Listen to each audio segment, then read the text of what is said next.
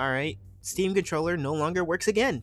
So we're gonna be doing other software because Steam controller has let me down for the last time, and it's been two times, twice as twice as too much, twice as uh, I, I, enough is enough.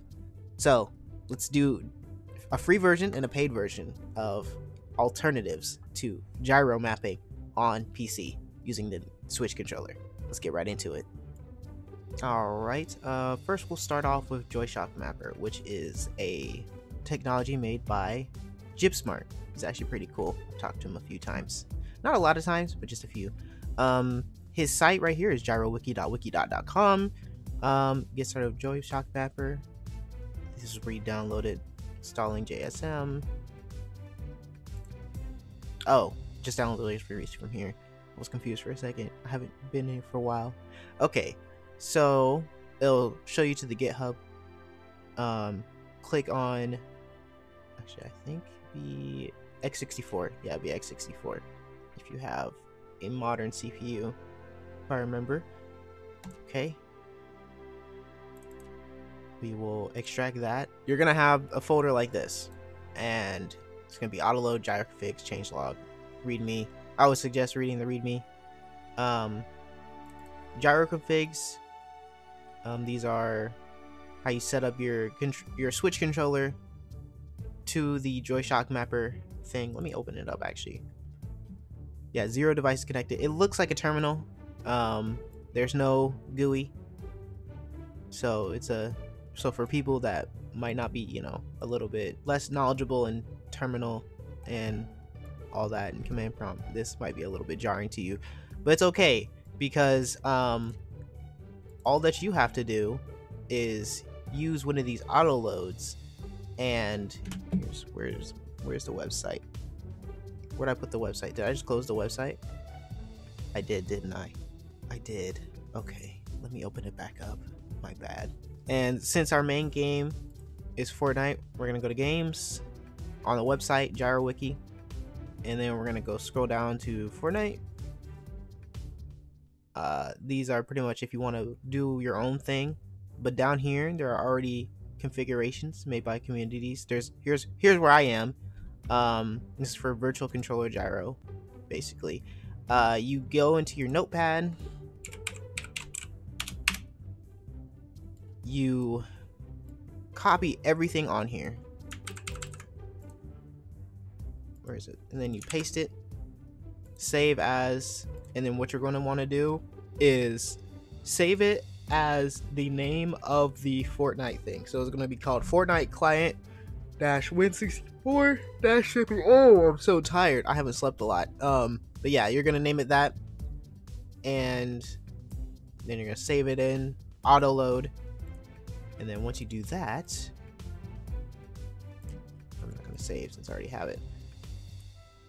Uh, actually, we're gonna have to restart JoyShock since I don't have my Switch co Switch controller connected. So, I'm gonna connect my Switch controller. You're gonna hear a sound if it's a USB, like that. We're gonna restart JoyShock. Now it says one device connected, and I heard, felt a little bit of a vibration shock. And when I move the controller, everything the the JoyShock mapper is sensing my movement and my input as you can see right here. I'm doing a lot of stuff right now. Uh yeah. But now that that's figured out we're gonna launch Fortnite. I actually haven't played in a while. Okay we're back here. Now if you move your controller around should pop up as an Xbox controller naturally. Oh! Okay cool. All right so let's go into battle lab check it out. I mean, you could just move around the uh, the what you call it, the menu with your controller, see if it works. Now we're gonna check out the gyro in game on Battle Lab as I always do. Other than my game freaking out on me, um, you can see that the gyro is working. I am moving my controller um, just to show that I'm not bullshitting. Let me, as you can see, look at that. As I move, the game moves. It's even seeing my inputs. Not my uh not my ABXY because I'm tabbed out, but it could see my gyro inputs and it's doing it. It's doing the thing. So yeah, that works. It, it definitely works. Um, yeah, this one's the free version. This one's the free way to do it. There's also I'm actually going to show you the one where uh, you have to pay for it, but it actually is pretty cool. So uh, hold on, let me let me get to it. All right, so now we're gonna check out reWASD. It is a remapper. It remaps controllers. Very simple, um, and it works with Nintendo Switch. Uh, you can do a free 14-day trial if you're not too sure about this software, or you can buy it for like seven dollars if you want like the bare bones remapper. Um, I I got the uh, the everything pack, so it was like twenty four dollars.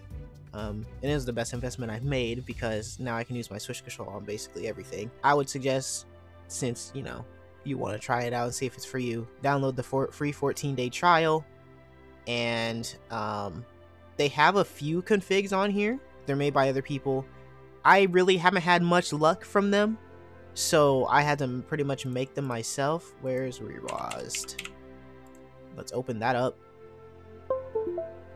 And okay, yeah, it automatically picks up my game. Not my game, my controller. Why is that on slot one? Is it really only slot one?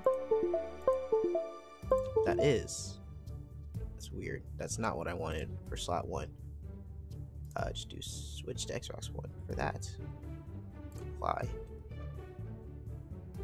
Okay. Emulation should be turned. Okay, cool, cool, cool, cool, cool. All right. So this is what reWASD looks like. Um, my bad. I was looking at why everything was not not the way I wanted it to be. Uh, but yeah, this is reWASD. Basically, lets you, you know, remap all your stuff to what controller you actually choose. So for me, I have both because I have the full thing.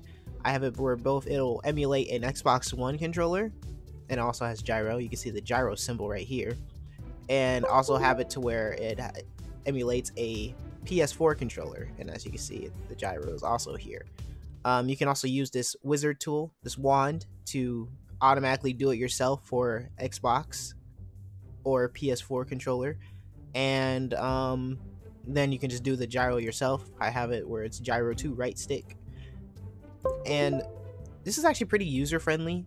Um, Joystick Mapper is also pretty user friendly. It's just that reWASD also is a paid a paid thing and it has a GUI. So I kind of use both interchangeably, depends on the game. Uh, mostly, I think for Fortnite, I use Joyshock Mapper, and for other games like World War Z or COD or other games, I use reWASD. Um, but yeah, you can set it up here. Here, let me go to Advanced because sensitivity works differently in reWASD than it does in Joyshock Mapper. Uh, this is my response curve it's it's kind of weird. The last part shows like the the strength or sensitivity of your gyro, so it feels kind of weird uh, compared to Joyshock Mapper, where that one feels a bit more natural. This one feels it's so hard to put it. It feels aggressive in a in a sense. So um, let's just open back up Fortnite and use it. As you can see, uh, reWASD is running and it can even tell my controller battery. So it's running, it's connected, it knows my switch is there. Now let's go to Fortnite again. So like Joyshock Mapper, uh, move your controller. That's when the game starts recognizing your controller. Move it around. Sees it as an Xbox One controller. Uh, feels kind of just like Joyshock Mapper, actually a lot like Joyshock Mapper um, because it's still an Xbox One controller. You're gonna see why I uh, kind of prefer Joyshock Mapper over reWASD for this game's gyro. It just feels so weird. It feels too aggressive for me. I feel like I can't. I have to fine tune it for like actual like the sensitivity that, that I like. Okay, yeah, it's it's super aggressive. It's super hard to fine tune. Um, I haven't been really able to find a way to fine tune it. I think I just need to keep messing with it more. But the gyro works. Um, yeah, there we, there we go. There's a. Is there any crow around like last time? This might. This, oh, hello.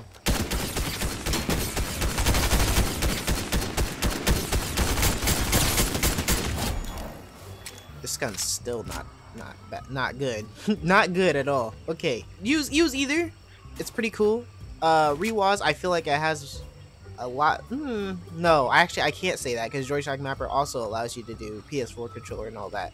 I feel like uh, if you're if you want something that you know has a has a GUI, a, G, a UI interface, use it. Use uh, reWASD. If you don't really care, you just want the game to work and you don't want to spend money, use Joyshock Mapper. And I really recommend Joyshock Mapper. Actually, I also recommend uh, supporting JibbSmart. He's actually a really cool guy, and his his app is good, very good.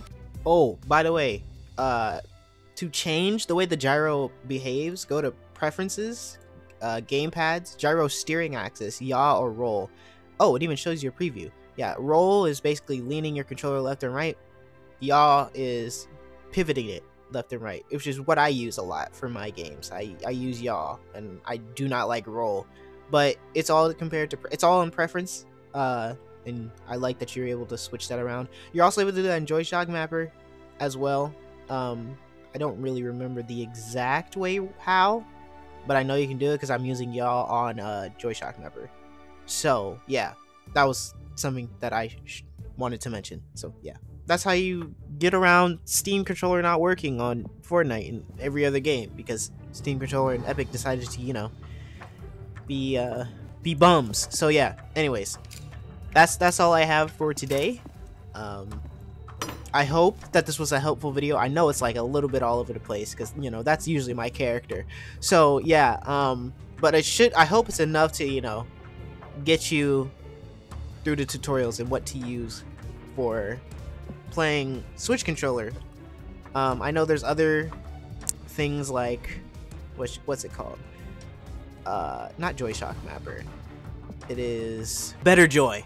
Better Joy. Uh, I haven't really used it that much. I don't think I really like Better Joy. Um, but I know some people also use that one. I would also suggest using that one. Uh, everything that I mentioned is going to be in the description because I like putting things in the description because I like to help people. So yeah, let's turn this master volume down so everybody can hear me. I hope this helped because Steam controller has been like selling lately. It's just it's just not it's not hidden anymore. So I had to find some alternatives. Thank you so much for watching. I'm sorry it took so long. It took like a few months because I'm lazy. To be honest with you, I'm just extremely lazy. And also I like uploading other videos because, you know, I'm I'm a variety YouTuber. I like I like my videos. Thank you so much for watching. I hope this helped. And without any other further ado, I'll see you guys later in the next one. Bye-bye.